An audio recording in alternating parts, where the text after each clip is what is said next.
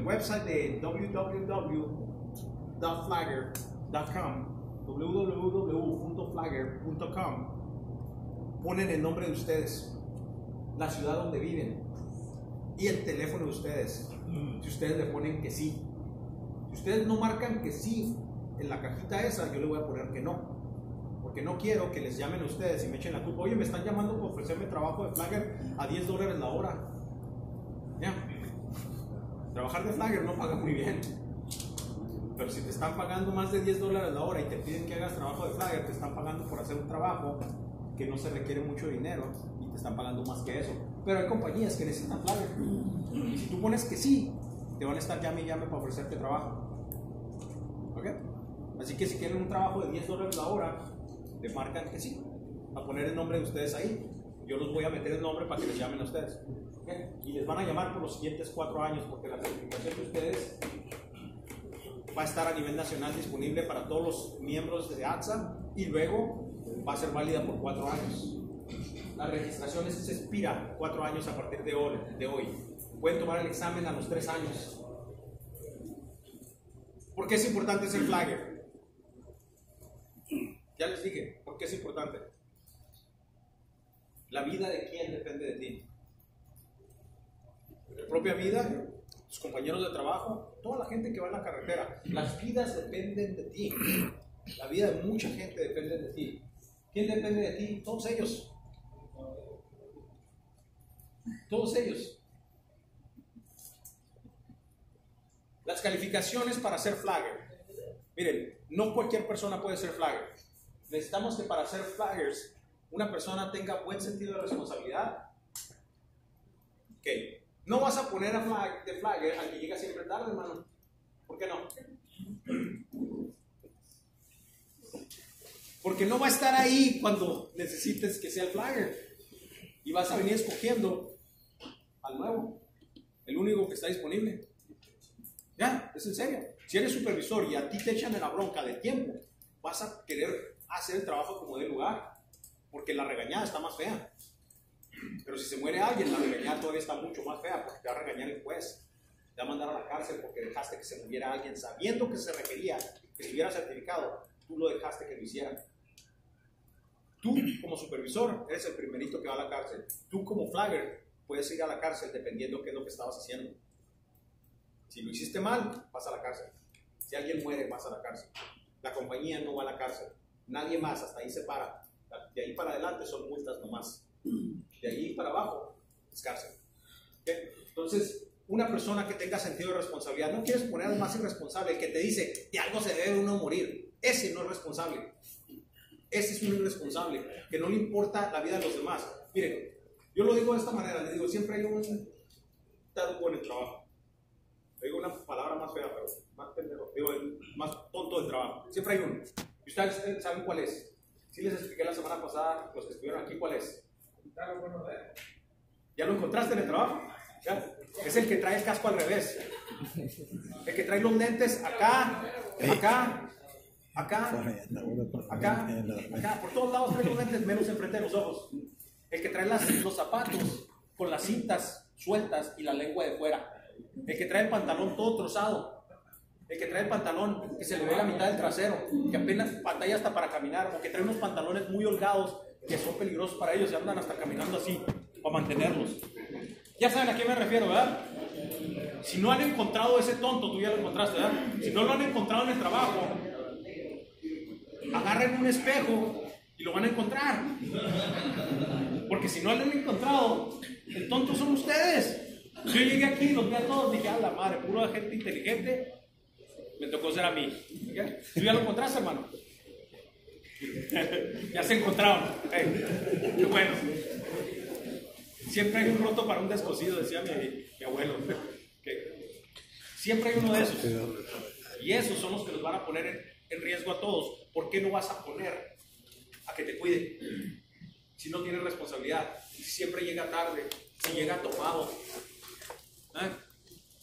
Si siempre anda pidiéndote dinero porque ya se gastó el dinero en puras tarugadas, te pide dinero para que le ayudes para pagar la renta porque ya no trae dinero porque siempre hace la misma.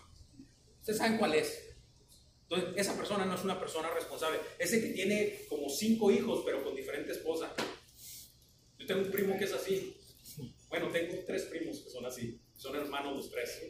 ¿Mm? Juegan competencias a ver quién tiene más hijos. En serio, juegan competencias. Para ellos es un orgullo eso. Y uno de ellos se burló de mí porque yo nomás tengo dos hijos con la misma mujer. A los ojos de él, de él, yo soy un tonto. A los ojos de mis hijos, no. Tienes que ser responsable para ser flyer. Debe tener entrenamiento. No puedes poner al nuevo. Inteligencia promedio. Ok, no necesitamos que sean doctores. Si, tuviera, si fueran muy inteligentes, no trabajarían en construcción. Yo no fui muy inteligente y terminé en construcción. ¿Ok? Yo iba a la, fui a la universidad y me salí. acá no hubo. Tomé muy malas decisiones, me pegué mucho en la cabeza de chiquito y quedé medio tontito. Construcción. Entonces, inteligencia promedio. No queremos al de trabajo que sea el que va a dar los señalamientos de flyer. Queremos a alguien que tenga inteligencia promedio. Buena condición física. Ok. No quieres poner una persona que pesa 400 libras y está de este tamaño. ¿Si han visto una persona de ese tamaño? Sirve de cono, sirve de barril, pero no te sirve de flagger. ¿Por qué? Porque tiene que ser capaz de moverse rápido.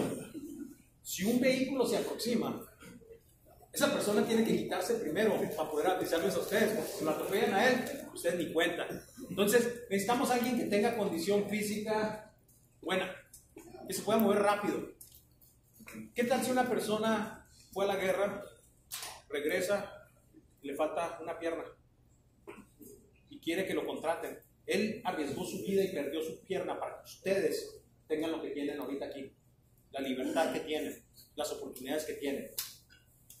Todos esos que van a la guerra, va para que ustedes no vayan. Piénsenlo. Yo tengo familia que ha servido en el ejército de Estados Unidos por muchos años. Tengo un primo mío que se acaba de jubilar hace como unos siete años y es menor que yo. Se retiró como capitán de los Marines. Vive cerquita de mi casa. Es uno de mis primos. Más jovencito que yo. Fue a Afganistán, fue a Irak. Anduvo por todos lados él. Bien jovencito él. Regresó completo. Tuvo suerte. Tuvo suerte porque ya tienen muchas, muchas cosas. Pero amigos de él no regresaron. Él regresó como capitán, se hizo capitán allá en el ejército, se jubiló como capitán. Pero muchos amigos de él no regresaron. Y unos que regresaron no regresaron completos. Podemos poner uno de esos esas personas a que trabaje como flagger. ¿Por qué no? Me dijiste que no, ¿verdad? ¿Por qué no?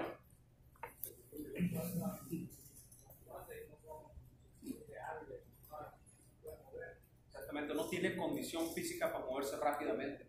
Si una persona está en silla de ruedas, no lo puedes poner ahí. Si una persona le falta un brazo, no puede manejar el señalamiento y decirles a los demás que se paren. ¿Y si tiene, y si tiene una tarjeta? No, te, no se le da tarjeta. Yo no le doy tarjeta a alguien que, no, que le falta una mano, que le falta un brazo, que le falta una pierna, que está en silla de ruedas, que es ciego, que es sordo o que es mudo. Una persona que le falta cualquiera de esas habilidades, no lo voy a certificar yo. No por discriminación, ¿eh? ¿Por qué? Porque me interesa que esté seguro él. No voy a poner en riesgo si le doy la tarjeta. Si alguien le dio una tarjeta a uno de ellos, es un error bien grande. Porque ATSA prohíbe que les demos tarjetas a ellos. Porque uno de los requisitos es el que tengan condición física buena para que puedan moverse rápidamente, que puedan oír situaciones peligrosas como el rechinado de llantas, que puedan ver que viene un carro hacia ellos, que puedan manejar los, los aparatos de control de tráfico claramente y dar, dar este, señales claras a los conductores y que pueda hablar. Te van a hacer preguntas. Una de las diferencias entre Maryland y Virginia es que Virginia requiere que hablen inglés. El entrenamiento se puede dar en español, pero requiere que hablen inglés cuando están dando señalamientos en la calle. No que sean 100% capaces de hablar inglés. Nadie es 100% capaz de hablar inglés. ¿eh? Ni siquiera los que han nacido aquí y han ido a la escuela. Yo nací en México, Fui a la escuela en México y todavía no hablo el español al 100%. ¿Ok? Pero lo hablo lo suficiente para que me puedan entender. Y también en inglés. Yo hablo en inglés también, igual. Pero no 100%, lo hablo lo suficiente para que me puedan entender. Y hay gente que viene y apenas les entiendes cómo hablan, porque dices, se no sabe hablar bien. Y te preguntan, ¿cuánto más vas a tardar ahí? How long, how long is this going to take? Y la respuesta tuya tiene que ser corta. Tienes que entender lo que te dijo, relacionado al trabajo. Si te pregunta, hey, ¿dónde está el McDonald's? ¿Dónde está un McDonald's aquí? ¿Ese no es tu trabajo? Tú le vas a decir, sigue manejando y allá te topas uno. ¿Va? Tarde o temprano te vas a topar con un McDonald's. No es tu trabajo, tu trabajo es nomás tener la, el área segura. Debes ser capaz de entender preguntas básicas.